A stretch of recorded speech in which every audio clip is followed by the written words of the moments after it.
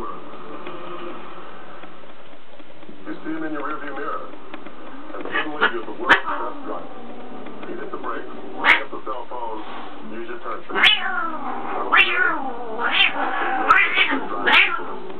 A police car shouldn't be the only thing that brings it out. So all day, safe drive at the brake, up to 20%.